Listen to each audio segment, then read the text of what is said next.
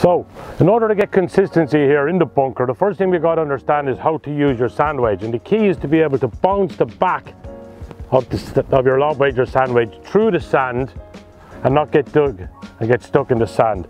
So great exercise or fantastic drill. You don't even need a golf ball. Just get your sand wedge, draw a line in the sand, okay, set yourself up, position the line inside your left heel, open your club face to present the bounce. So before you open the club face, okay, or before you take your grip, I want you to open your club face, then take your grip. So the face will be open so you can present the bounce to the line. Slightly into the left, okay, we're going to create wrist hinge and we're going to practice hitting the line. So instead of being back like this, hitting way behind it or belling the ball in the middle, we're going to practice hitting that line. And when you can hit the line consistently, turn through it, then it'll be much easier to be consistent with the strike in the sand, hence getting the ball out.